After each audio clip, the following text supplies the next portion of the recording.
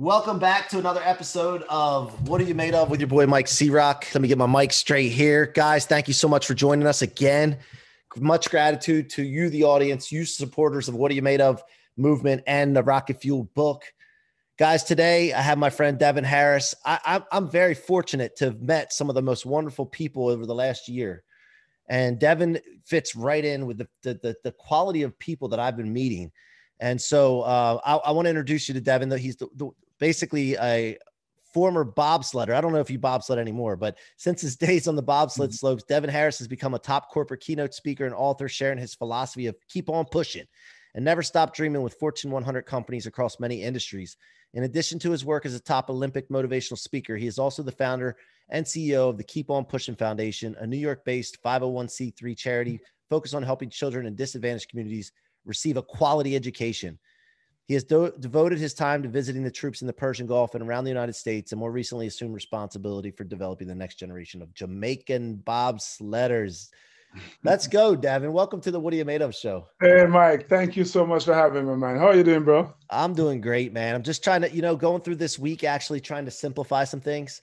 I think that like we start simple and then we start adding things, and before you know it, there's some chaos and confusion. So it's good to take a step back and get rid of some things and reprioritize. Always, always, absolutely. And that's mm-hmm. what this week's been for me. But uh, this isn't about me. This is about you. So I want to start off the show by asking you the same question that we ask all of our guests. Devon, what are you made of?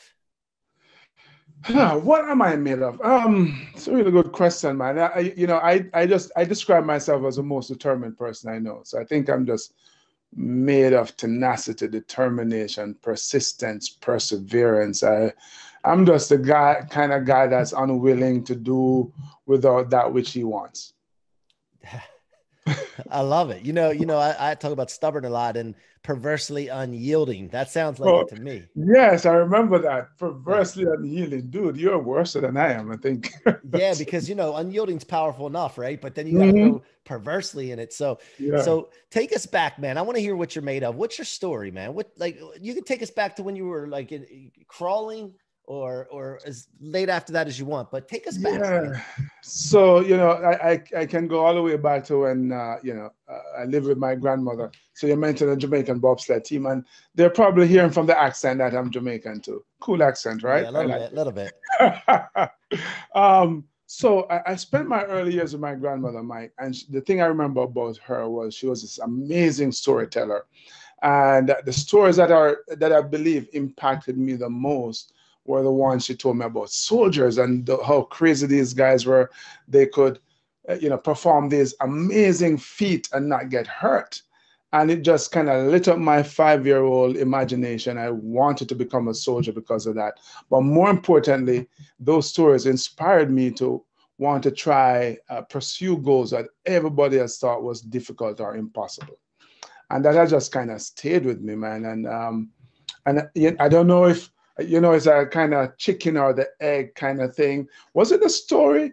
Were the stories that inspired me to just be this the un- perversely unyielding guy like you, or did I have that in my DNA and the stories kind of lit that fire? You know, um, don't know. So I, I so I, I eventually left and I went to Kingston to live with my my dad. I grew up in a place called Olympic Gardens. It's a really tough ghetto environment, you know, impoverished and violent. Um, and you're always looking, and, and not far from where I lived, you know, you could see all these beautiful houses on the hill. And, and so there's such a stark contrast between my reality and what's out there. And there was just a part of me that wanted some of that too. Um, and I kind of grew up with, with, with, with guys who um, were just kind of settled, settled, happy to settle for what we had in our environment. And I remember them calling themselves sufferers. And at 13 years old, man, one I remember it so well. In the summer, I just said, "Hey, we're not friends anymore." I just started walking a different. Yeah, I just started do it. It, was not pleasant. You know, we're we live in the, the age of political correctness now, but I had to bust a couple heads just to get them to understand that uh, no, I am not doing what you're doing, you know. Well, and, and, and let me stop you for a second, hmm. just because I got to tell you something. I was just in a clubhouse room and we were talking about this same topic, And you know, you hear per, like growing up, I've heard this before. Like they would talk about churches sometimes, or they would talk about groups, and they would say, "Man, they they just cut people off. They don't want anything to do with some people." Mm-hmm. And then everybody mm-hmm. that was complaining about that was were people that were the sufferers, the settlers, yeah. the people that were, and they're the only ones that complain about that. The successful yeah. and high accomplishing people never complain about other people cutting people off that are holding them back. And that we were just talking about that, and that's why I was smiling. So I didn't mean to cut you off, but I had to say no, that. I mean, it's, no, it's, and, it, and, yeah, and, and it's not that you, because uh, I, I at no time felt I was better than them. They were just burdensome, man. That the thought of embracing that kind of mindset and thinking meant that I was going to be stuck in this misery, looking up on those people who are living so well, right, and succeeding, and and yeah, so I just kind of cut them off. Um, lived a very different life. I was talking about this recently about just you know, in my neighborhood, I'm the only guy who's going for runs, right? That I because I, I I was running track and I was, you know, really wanted to do well at the the junior level and had my eyes set on the Olympics. And so I'm I'm I'm like the only guy who's doing what I do. Like at 19, we have a very different uh, school system in Jamaica. At 19 years old, I'm the only guy at my age in school still. You know, just walking a very different path. And like right, so right after high school, I joined the army. Um, I did my training in England at the Royal Military Academy Sandhurst, which is like West Point, uh, but but for the British Army and came back to Jamaica and served as an officer. Again, the only ghetto kid. um, you know, and and then if you fast forward to it's 1987, I'm like, yeah, the Olympics, man. I really want to go to the Olympics. They're coming up in a year in Seoul, Korea. And I'm not, I wasn't dreaming about being no Jamaican bobsledder. I wanted to go run. Um, but so did the, you did you run track and field in school? I ran track, yeah. Yeah. Yeah. Yeah, but but I, you know I, I'm I'm Jamaican, but I was no sprinter. Well, not a very fast one anyway, by Jamaican standards. you know, you, you you have to deal with the the, the, the cars that life deal you, man. So yeah. I wanted to win something. I'm like, screw this. I'm not running any 100 meters. 800 meters it is. You know, so I ran 800 and 1500 and I won. So I'm like, all right, cool. I found my my calling. Um, but so it's 87 and i'm thinking i can get fit enough to go to the olympics to run 800 and 1500 and the bobsled idea was born by two americans and they couldn't find sprinters to do it so they came to the army looking for athletes. My colonel suggested that i tried out for the team and i'm now you know how it is man. Sometimes an opportunity just kind of fall in your lap. It's like are you going to go man i don't want to have anything to do with that. It's so far out of left field, or you're going to go, wow, I, I better grab this with both hands. So I grabbed it with both hands. And so here we are talking. You said, you said yes. I said yes, man. I said, you have to say yes to opportunity, man. You know, people, you know, when, when people hear the word opportunity, Mike, I think th- this is what I think in my head. I, I picture that they think it's uh, it's kind of like a big box wrapped in colorful wrapping with a bow and they just un, unfold the bow, untie the bow, and take the wrapping off, and voila, opportunity, enjoy. No, opportunity is just hey, and a, a chance to go to work, dude, working on them skills, um, you know, getting the knowledge so you can take advantage of the real opportunity that's there. You can grow into that person that can become this thing that you want to become. And so that you were on the first the first team, right? Yeah, yeah, I was on so, the, one of the first guys. And where did they go to practice? So um, our first, it's kind of crazy story. Our first, the first time we saw a bobsled track, a bobsled, um, was in Lake Placid, New York, in September '87. So uh, note that September 1987. The Olympics are in February '88. The first time we're seeing a track and a bobsled is September 87, right? Wow. and so then we spent like that month about, uh, um, yeah, that first September to mid October in Jamaica, pushing this makeshift sled on, on, on wheels on a concrete surface on the army base in Kingston. And then we went to Calgary and went on a bobsled track for the first time. Spent maybe six weeks there, just trying not to kill ourselves, quite frankly. Um, and then we went to Innsbruck, Austria, and we did one race against the B teams from some of the major nations. Um, went home for Christmas, then went back to Lake Placid, New York. Uh, uh, I spent a month there again, trying not to kill ourselves, and then we went to the Olympic Games. What was going through your mind during all that? Like, uh, well, I, I, the thought process. Yeah, well, my first time um, on ice, and, and on ice, I, by that I mean that weekend when we went to Lake Placid and saw bobsled for the first time. Um, the Americans were there practicing their starts on, the, on an ice rink, and they invited us. And dude, it was one of the most difficult things. I couldn't walk on the ice. Like we spent more times on our on our butts, and I'm thinking, man, this bobsled thing is harder than I thought. I thought I was just going to just, you know, but it you know, years ago, a guy asked, uh, I was giving a talk, you know, at what point did we believe we couldn't do it? And I'm saying, well, that, I've never been asked that before. Never. We, it, it, like the thought of us not making it and not doing it just never factored in. So it was like, okay, so this is a little bit difficult. Let's keep working. Let's keep trying. And um, it's an important lesson, I think, for for all of us. You know, most of what we need, Mike, to succeed is skill based. Writing, reading, speaking, you, you know, all of those things, right? Selling, um, marketing, you know, th- they're skills, man. And you can learn them, you practice them, you develop them initially. You, you know, when you start, you're awful at it. But if you just, you know, I was speaking this morning about having a growth mindset, just this belief that regardless of the circumstances, you can always uh, become more skilled, become more knowledgeable. Yeah. And, and, it's not, there's no shiny bells and whistles. It's about doing the same old boring thing over and over and over again. Right. I mean, so when you see, uh, choose a sport, track athlete, uh, football player, basketball player, baseball, they're doing the same thing. They're the baseball guy swinging the bat, swinging the bat. The basketball players putting up shots we're doing the same thing over and over and, and then you go wow he's amazing or she's amazing. They've done that movement a million times so it just seems effortless. It ain't effortless. And, tons and, of work and, and so uh, the, the movie cool runnings was about you guys yeah, yeah, yeah, yeah. And, and so, I, tell, I tell people I'm the handsome one, and they take one look at me and laugh. They're like, "There's nothing handsome about you."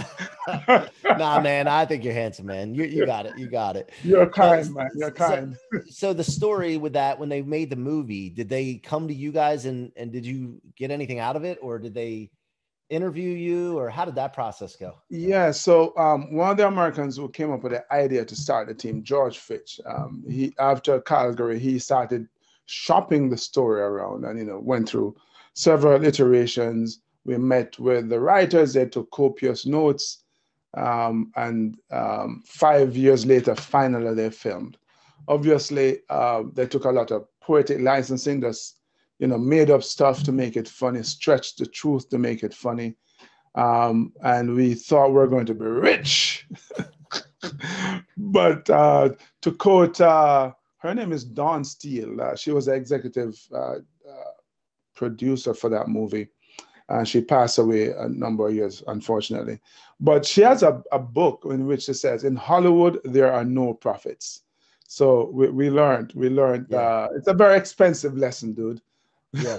Yeah but you know what? It's the intrinsic value of it you know? It's what mm-hmm. you do with it afterwards? Like uh, how many members of the team were there by the way? Um so we had six athletes in calgary four of them ended up on the sled yeah. Okay okay so mm-hmm. of the six people though who who did something with it? Like that's the question they have to ask yourself. You got this presentation first jamaican bobsled team they make a movie about you. Is that where you stop or who's going to take this and see what they can get out of it and and and basically ring it out, right? Yeah, it's it's it's interesting that you asked that because years ago I was um, in Jamaica, I was speaking and you know I had my books there, and I remember a girl saying, "It's it's amazing." Uh, and I'm paraphrasing her a little bit, but um, it's amazing what the opportunity has done for you, the bobsled opportunity. And I go, no, I made something of it because as we were saying earlier, opportunities are time to kind of go, go to work. And so yeah, I, am I think Chris and Dudley Stokes have done some speaking, you know, in a very limited way, but I'm the only guy who has taken it to this level. Yeah. Now, now let's go. But you know, my philosophy uh, about rocket fuel and turning setbacks into rocket fuel and, and all that. Can you take us back to something that still to mm-hmm. this day you drive off of and feed off of that that gives you that fuel like no matter what think of that thing and, or that mm-hmm. person and you're like ah i'm good. I got this. Well yeah you know i was talking yesterday about relating the story. It's a, it's one of the things one of the earliest things that got me started man. So you know grew up poor and um, i was in i was in woodwork class and a three period class at the end of the day in the eighth grade and this dude embarrassed me. And Mike, I, I did not cry. I bawled. it's like I put my head down on the desk and, and the, the teacher did not even try to stop me, man. Um, so this dude was was a really good athlete, just joined the track team, could probably run backwards blindfolded and beat everybody. So it was just it was full of himself, you know.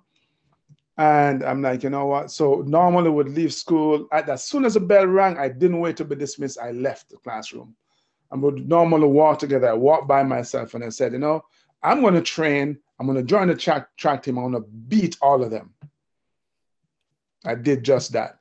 Um, and it's that um, kind of, it's not even the physical training per se, but the mindset that was required to do the training that I think became formed the foundation that really allowed me to embrace the suck, do the training I needed to tr- to do to eventually get to the Olympic Games.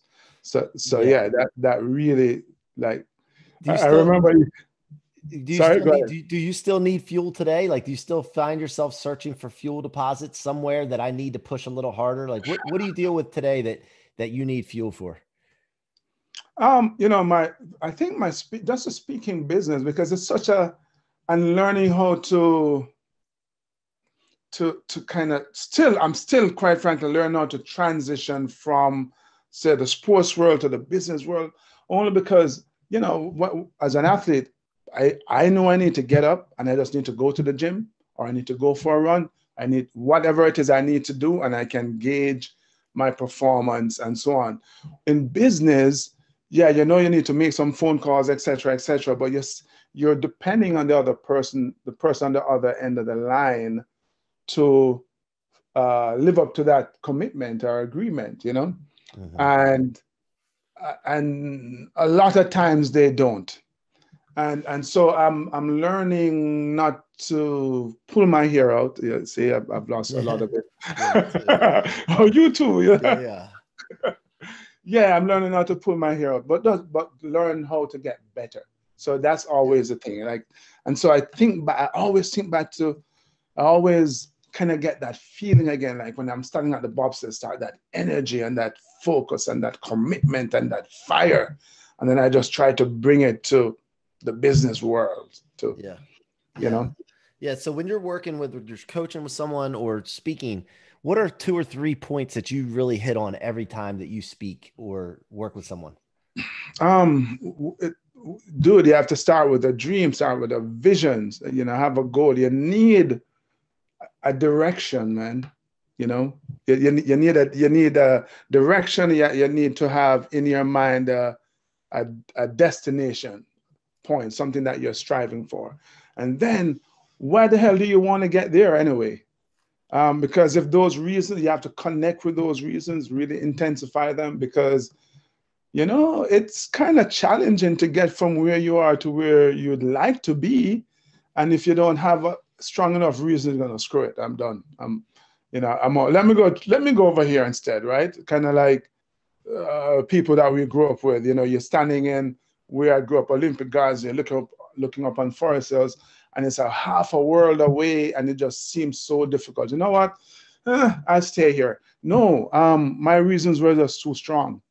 And then if you have a clear vision and destination in mind and you have the reason, I think that fuels your persistence, that fuels your ability to keep on pushing, you know, my thing, you know, you have to, you have to be persistent, man. You can't, and I know you can dig this too. You just can't give up, right? You just have yeah. to. Yeah. This is. I, I don't I don't know how to give up, and I just don't know how to give up.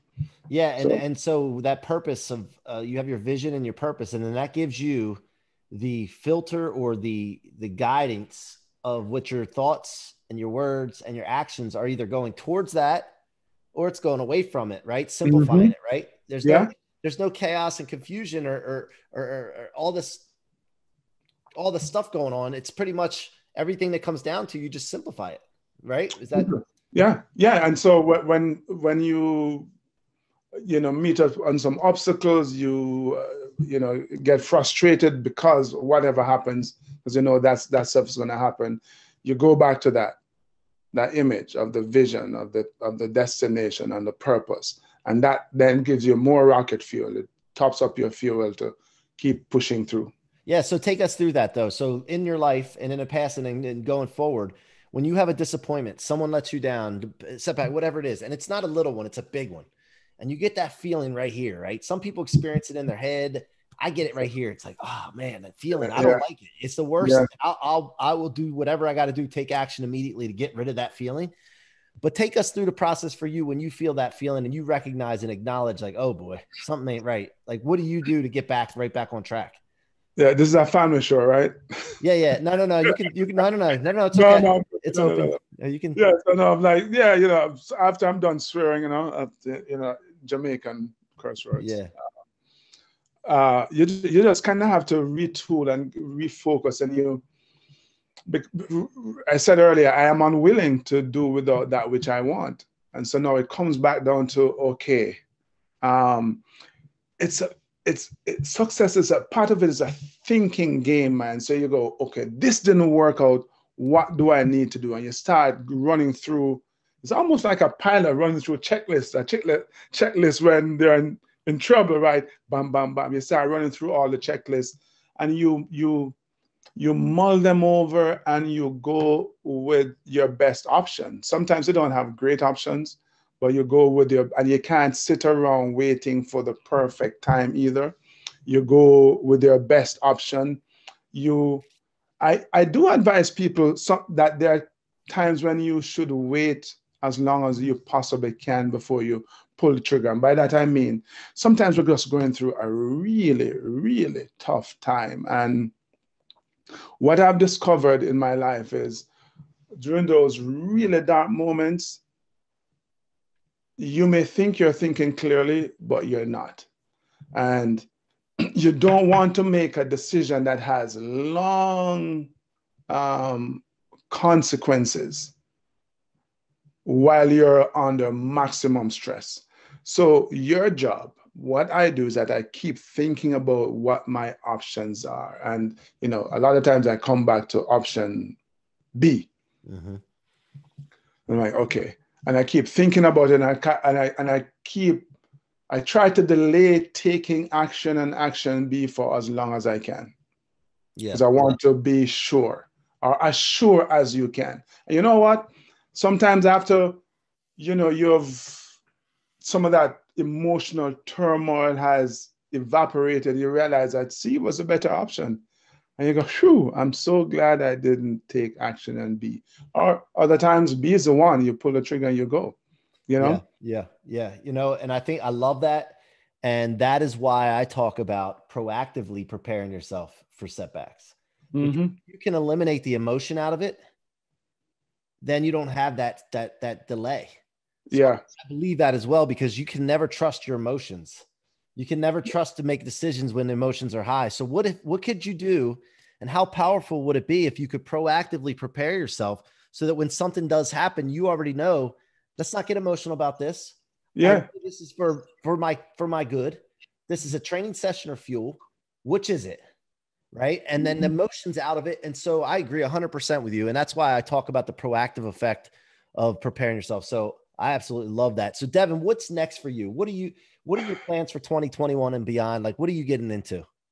Yeah, you know what, uh, you know, so 2020 was a crazy year uh, for all of us, a, a, a, curse and a blessing. I think that the, the fact that we had a pandemic really caused me to, well, caused all of us to slow down a bit. And as for me, it caused me to really evaluate or reevaluate my business. And that has taken me on, um, you know, just as opposed to, you know, flying around the world, jumping on stages, looking at creating online programs and reaching out. So now I'm working with, you know, companies with, with my mindset resilience uh, training, um, especially for their sales team. There's just, there's one of the things that I've discovered is there's such a, uh, a similarity between salespeople and athletes and soldiers, right? I've been an athlete, I've been a soldier. We're all trained, but we don't always execute, right? Salespeople, the same thing. They know what to do, but they don't execute, right?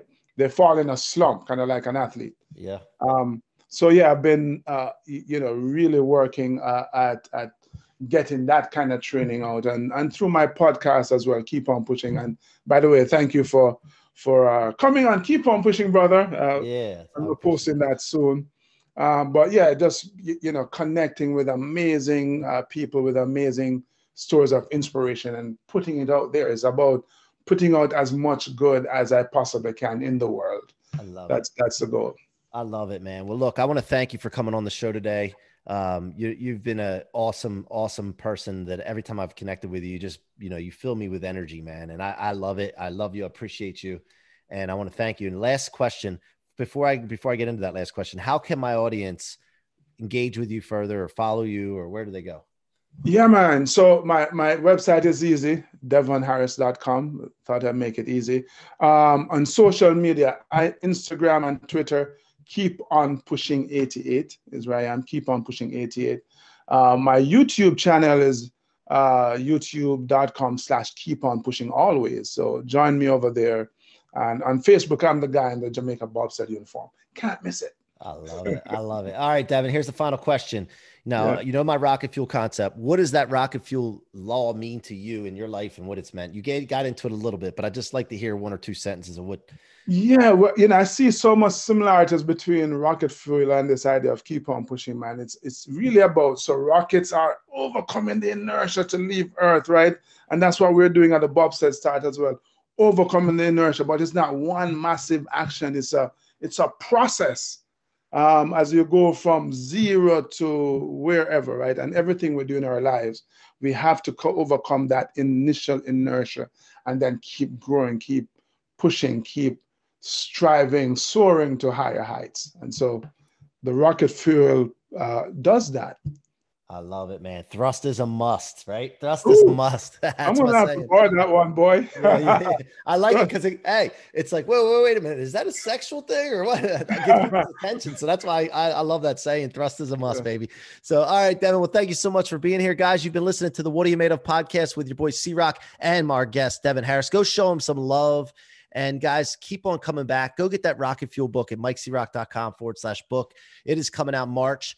Uh, we are, I'm so fired up. Grant Cardone wrote the forward for it, and we're going to get it out there to you and change the world. I have a lot of other things in the works that I am so excited to bring to you. So just keep staying tuned, keep engaged with me. And until next time, be unstoppable.